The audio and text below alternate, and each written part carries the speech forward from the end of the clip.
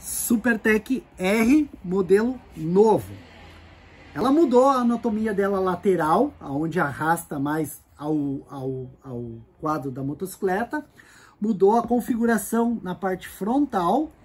O restante ficou mais, mais ou menos idêntico à outra. O que mudou também as cores, algumas cores. Temos algumas cores diferentes. Mas o mais importante é a bota interna que ela mudou, ela veio mais anatômica, com material mais anatômico, mais resistente, com mais re, uma, com uma anatomia melhor aqui ó, na parte do pé.